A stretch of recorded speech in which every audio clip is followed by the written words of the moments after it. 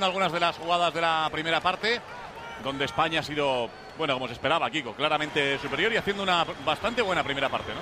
Sí, no llamando, no llaman mucho la, atención, algo previsible y lógico, ¿no? Tocando sin meterle mucha velocidad, aprovechándose de algunos fallos como este defensivo muy bien. Santi Cazorla, que ha sido el jugador quizás más creativo en los primeros 45 minutos, pero jugando en, en tercera nos llamaba la atención, en algunos momentos presionando muy arriba, teniendo a, a algunos robos, pero tampoco invita mucho la, la selección de, de, Haití. Y importante lo que siempre hablamos en este tipo de, de, partidos, el tema de las lesiones, jugando muy controlado el equipo de Vicente del Bosque, la novedad que era ese jugador como Iker Casilla, apenas mm. ha tocado la, la, pelota. Yo creo que todo como desea Vicente, muy tranquilo y recuperando sobre todo las cosas eso importantes, que son sensaciones y hábitos.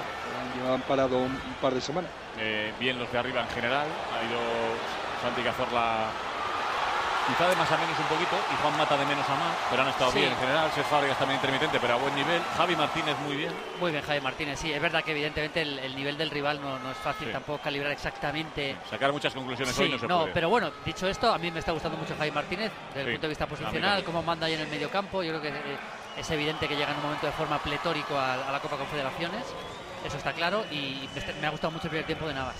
Navas haciendo de extremo puro en, en su rol perfecto, dando pases, haciendo exactamente sabiendo los... todos, incluso él que no es titular en el claro. equipo, pero dándolo todo y claro, jugando claro. como él solo sabe jugar, es que no entiende otra manera de jugar. Claro, es que es muy importante eso, porque seguramente Kiko está de acuerdo cuando, cuando un jugador. No, no estoy, Martín, no sé lo que va a decir, pero no, nada de acuerdo. No, no, entiendo, no, entiendo, cómo vas a decir eso. No, eh, Espera un segundo, que hay que tirar sí. este spot de ah, nada y a la vuelta dale. ya ahora, ahora, con Maldini y con Kiko. venga.